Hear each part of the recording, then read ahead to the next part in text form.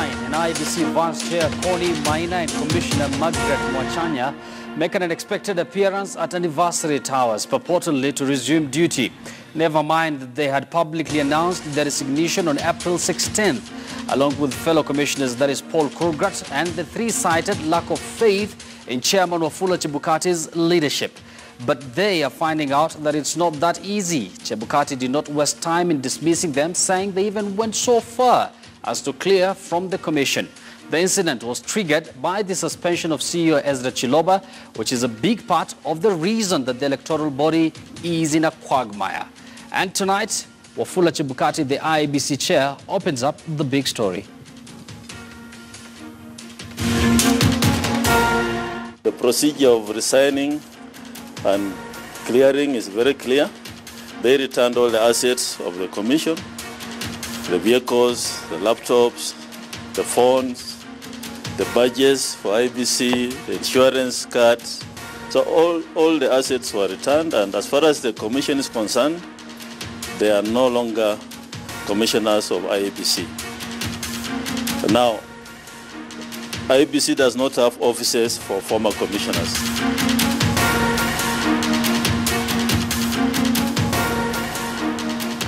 IBC doesn't have offices for former commissioners. That is part of the statement that was made by Chebukati earlier today. Let's also note that one Isaiah Biwot Kangwoni, who describes himself as a Kenyan male of sound mind, is challenging the legality of the commission as presently constituted. He has filed a petition against IBC and the Attorney General. We're going to get to the, some of the clips or some of the documents there. there you go on your screen. Of course, it is Monday, the 27th day of August 2018. Good evening and welcome to the big story right here on KTN News. My name is Yusuf Ibrahim. So, tonight on the big story, we host the chairman of the Election Observation Group, Mule Musau, and lawyers Felix Odhiambo and Steve Ogola, who are here with me in studio. Actually, uh, Odhiambo is going to join us uh, shortly. Our lead reporter, Sophia Wanuna, also joins us live from our city center studios with Samson Cherargei, the Nandi senator, the senator, who appears tonight in his capacity as the chair of the Justice, Legal Affairs and Human Rights Committee in the Senate. But before we cross over to the CBD studios, let's now set uh, the background of tonight's big story with this report by our reporter, Murimi Mwangi. Our position as commissioners under his leadership no longer tenable. It has been four months since this announcement that saw former electoral body IEBC's commissioners Consolata Nkatha, Margaret Mwachanya and Paul Kurgat call it quits at the Electoral Commission. But not quite yet. Early Monday morning, Mwachanya and Nkatha made a second attempt to resume their duties at the Commission's Anniversary Towers offices. IBC does not have offices for former commissioners. You cannot come here and say, I'm a former commissioner, give me space to work from here. And so, as far as we are concerned, they are not supposed to be working here. Nkatha and Mwachanya had sought audience with Commission Chairman Wafula Chebukati to discuss modalities of their comeback following Justice Wilfrida Okwany's August 10th ruling, dismissing the Commissioner's resignation as unprocedural. But after two hours of sitting in the boardroom with no sign of Chebukati, Nkatha and Mwachanya walked out. I didn't manage to see them, but I asked them to go and put in writing what they want to see me about. And if and when they do so, then we shall address the issues which they may want to deal with. But Nkatha and Mwachanya, it appears, could have sealed their own fate. In these affidavits dated 8th May, the two affirmed their resignation at the High Court, where activist Okia Omutata claimed that Treasury was yet to stop remittance of their salaries. In their separate affidavits, Nkatha, Mwachanya, and Kurgat claimed that their stay at the commission became totally untenable after Chebukati ordered withdrawal of their security and blocked their salaries through the treasury, even before President Uhuru Kenyatta could react to their resignation letters. I'm Not certain whether that was done. Up to now, I've not got a feedback on my letter, but I believe that uh, uh, Treasury acted on the, the recommendations from the Commission that they are no longer in office, and I hope they are not being paid. Kurgat has conspicuously detached himself from the Mochanya and Kathakambak attempt. When contacted, Kurgat told KTN News that he is waiting for the legal process to take its course. But Chebukati, it appears, is already planning on their replacement. Alongside Commissioner Roslina Kombe, who quit the commission days to last year's October 26th repeat presidential poll. The Committee of Parliament which oversights the Commission is working on a bill, and also the, the Senate Committee uh, is also working on a similar uh, concept, so that we now have a situation where uh, they set up a selection panel, and then new commissioners will be recruited. Now, with key financial and legal queries into the acrimonious 2017 polls yet to be fully unraveled, the attempted return by the resigned commissioners no doubt raises more eyebrows as the anniversary towers drama continues. Murimi Mwangi, KTN News, in Nairobi. Of course, the report by Murimi Mwangi sets the tone for our discussion tonight on the big story. Before I engage my guest tonight, let me bring in my colleague Sophia Wanuna from the CBD studio. Sophia, good evening. Good evening, Yusuf. So the return of Margaret Mwachanya and Connie Maina to the IEBC headquarters here in the Central Business District has been greeted by a palpable outrage around the country. They announced their resignation earlier in April and now they're back following that judgment.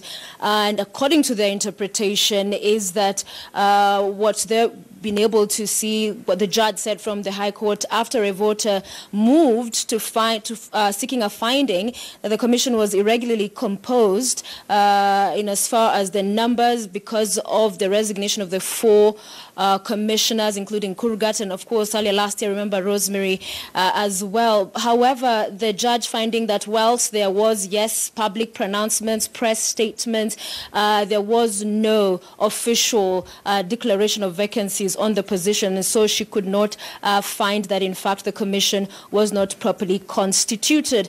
But important to note tonight, uh, Yusuf, is that the drama, the shameful drama that has largely been described as, as that, is something we've not seen just now. It's been playing out almost one year because you remember just before the repeat uh, presidential election last year, there was that leaked memo, and that's when things started falling apart, literally, at the IEBC, forcing them to go for a retreat. And since then, it has been issue after issue up until this moment. But uh, one of the things you've talked about there, and Murimi has mentioned in his story, is that these commissioners or former commissioners, unclear how to refer to them at this particular point, they said they've written to the president tendering the resignation. However, the presidency has been mum on this, even when the chair has written to confirm or whether they received this communique and what action is being taken, he has said there has not been any feedback. But other than the appointing authority, that is the president, parliament has a key role. And the oversight body over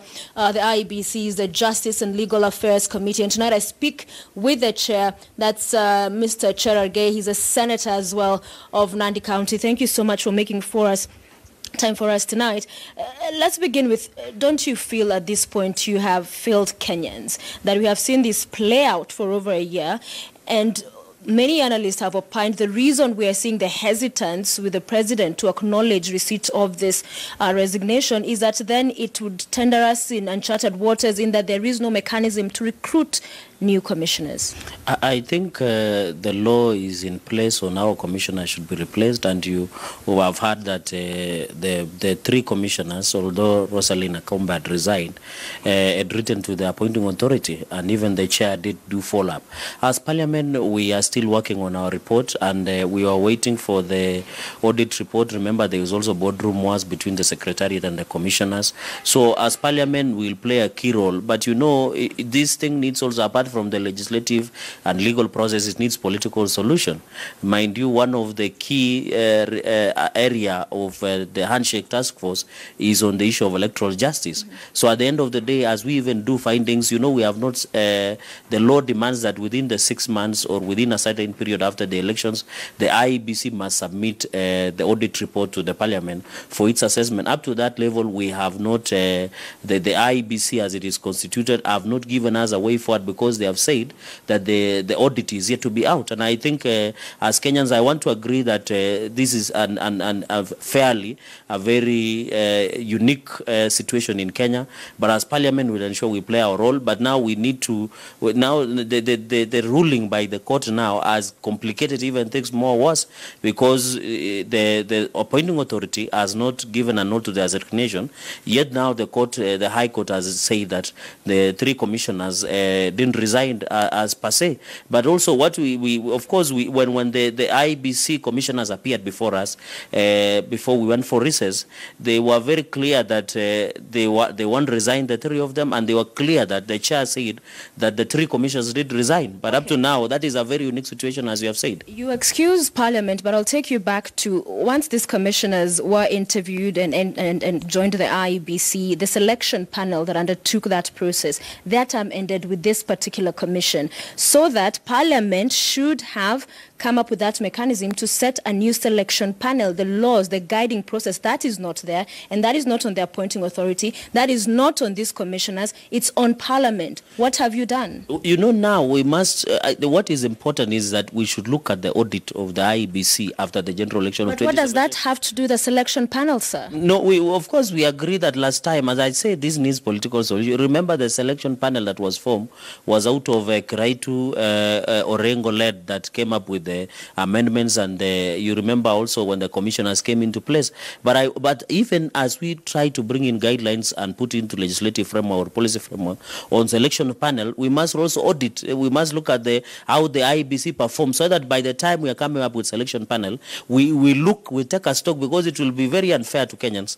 We go ahead and put in place a legislative or policy framework in terms of selection panel. Yet again, we come and look at the audit report. By the time also we conclude, it will also mean we, we go back. You're talking about two different things. I think audit is a whole different issue, and that we're having internal audits going on at the IEBC. You have the Auditor General as well dealing with that. We're talking about perhaps as Parliament complicating the work of the President because if he then acknowledges receipt of these re- resignations, then what happens? No, we are in limbo. So you're not answering my question in as far as what has stopped you to be able to put together a mechanism because that joint committee of Parliament said that the Parliament then would set up the mechanism. Why hasn't that happened? I want to agree because we are still on working our reports. You remember they, they uh, did appear on JLAC at the National Assembly and also and then we need concurrence. So we are still working on our own report. When we now table our report, it will set into motion how now we need to exit. But as you have said rightly, it is when the President will accept and agree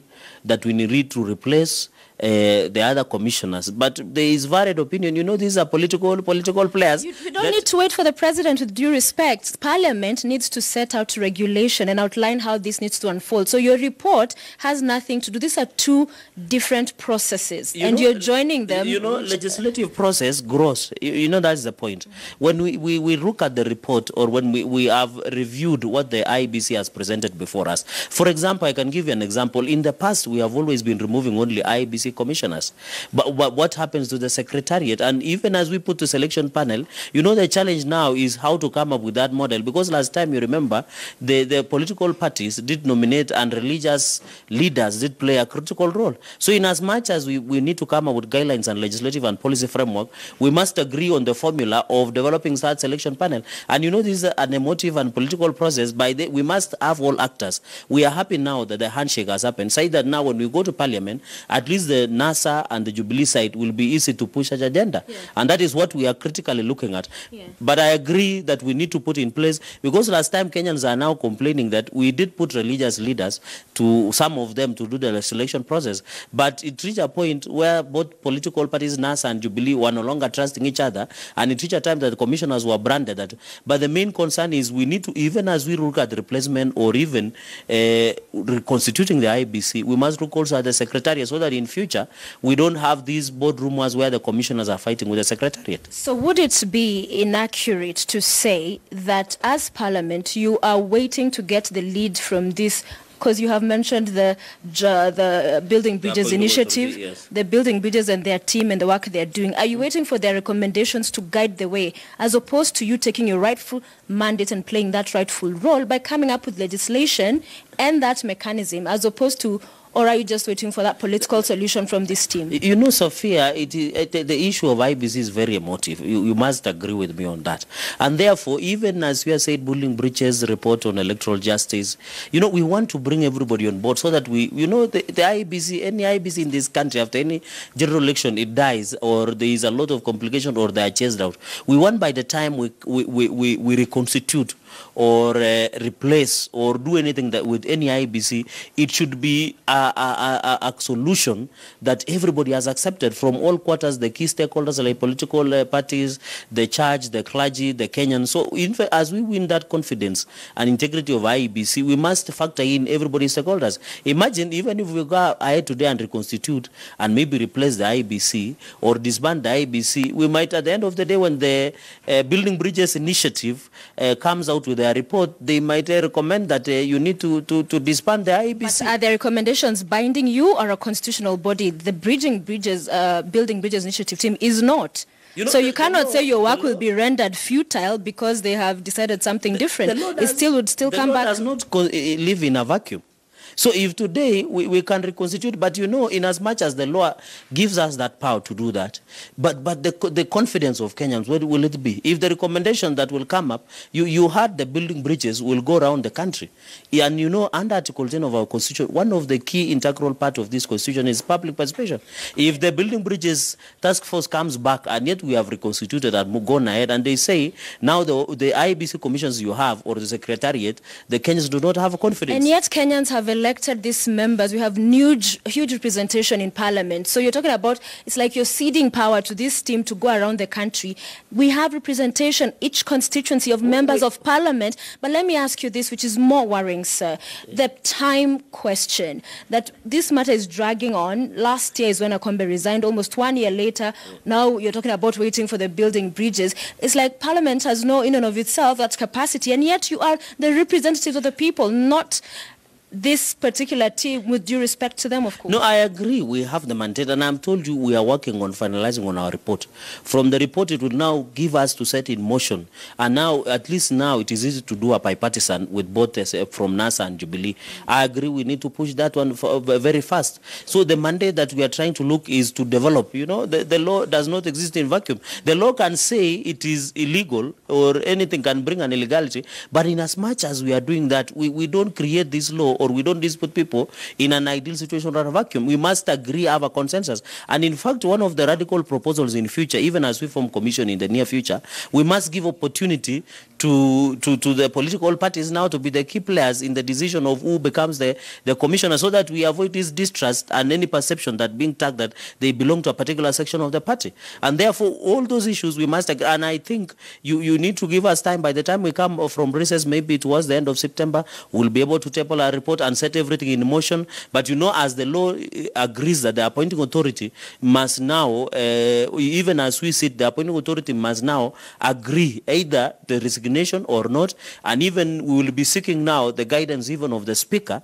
at some point to look at now that the, the ruling of the High Court, because in as much as we want to exit and ensure, but Kenyans should not worry. It is better now to take a longer time to rectify than the, before the, the general election is still very far of But 2022. we're rather dragging the feet that we might get 2021 and there's still no real recourse and direction. No, no, no, no. We, we will ensure that even before the end of this year, we will ensure that we have fixed all these issues and ensure that we rectify even the law we want to, the, as it was before, before it was amended. We, it's also some of the aspects so that we prevent the, what we are looking at, the, the, that we are putting the country in limbo in terms of, and I agree with you that we need to move fast because the, there is a by-election that is coming in Migori, for example. There are many ward by-elections. We need also to give them, the commissioners should get a capacity even there is a significant step that the, the current IBC did make is having county returning officers. So we are trying and strengthen the credibility. But you know what is important is the credibility, the confidence that Kenyans have with the IBC. But I want to assure you before the end of the year, we'll have ensured that we fix this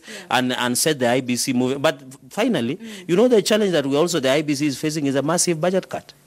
So even as we go as, as we go forward, we must also talk with the Treasury to ensure that we rectify and ensure that even as we reconstitute or put in place the new IBC, do they have uh, the necessary resources to, to, to, to continue with their work? Briefly and finally, you've mentioned about the credibility of IEBC, and many have questioned that, but credibility of Parliament as well is in question because you talk about now reversing the laws you reversed.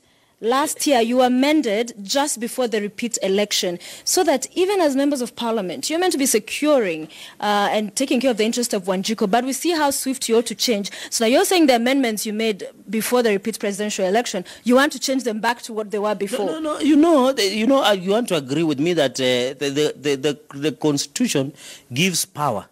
The, the High Court and other, the judicial process to interpret the Constitution. Some of those sections were declared unconstitutional the, the other day. So, you, you know, if it is consistent with the law, then it is unconstitutional. But it was even we- wrong in the first place to change laws as lawmakers. No, Kriegler's recommendations do not change election laws a year to the election. You change them days to a repeat election. But- but- Surely. but- Isn't that dishonest? No, no, it's not being dishonest. As we have really put it before when we started this interview, that the role of parliament is to do oversight and legislative. We amend the law, we delete, we replace, and therefore, basing on the circumstances, because we cannot just uh, today sit and agree. We must review the law at any given point in time. But now we need to take a stock saying the, the moment we amended the, these elections law up to a particular point, what, what do we need to do in future so that we, we continue to protect credibility and continue to protect the transparency and confidence of Kenyans in the IEBC and even the elections laws that we have in this country. And therefore, even as the guiding principle of the Constitutional Court, we must also adhere so that we protect the supremacy of the Constitution and ensure that we give it into place that are necessary. But I want to assure Kenyans we'll ensure these IEBC issues are fixed within time so that uh, going forward, uh, we, we give them capacity to commissioners. We also give them the strength so that they can continue. You know, they are now with the devolution. We would want to see that IEBC also ensures that it entrenches itself with the principles of uh, devolution and ensure that what we saw in county returning officers, we need to see even that their officers are strengthened so that even as we continue going ahead, the IBC can still do its work as provided by the Constitution. Briefly, JLAC, oversight of IBC, What can you tell Kenyans? You say you'll do it as soon as possible. When is it? Give us a timeline. Uh, uh, in the next uh, few months, maybe before, in the next three months, 90 days, so that as we table our report, we can also look at many other aspects. And you know, even as we table our report, we'll need to, to consult all stakeholders so that we don't run into headwinds of, of fighting again distrust, credibility. But I want to assure Kenyans that they should rest easy. We are on top of this thing and we'll continue to fix. We, we, of course, we are aware there are many issues, but I want to assure Kenyans going forward, if there is a reconstitution of the uh, replacement or disbandment or reconstitution of commissioners, we'll also fix the secretariat so that we, we protect the integrity of IBC. All right. Yeah. Many thanks, Senator and Chair of the Justice and Legal Affairs Committee of the Senate with us tonight saying and reassuring Kenyans in his words that soon these matters will be resolved. Yusuf. Thank you very much, Sophia. It seems matters IEBC is not only a motive but also confusing and the fact that the appointing authority, appointing authority is still mum over this development at the anniversary towers. In studio, still have the election observation group chair, Mule Musau the ELOG chair. We expect him to come any moment from now, but I still have uh, lawyer Felix Odhiambo as well as lawyer Steve Ogola, two individuals who have experience on matters electoral system in this uh, country. I'm going to engage them uh, shortly, but before that, big story. Takes a very short break. We'll be right back. Stay with us.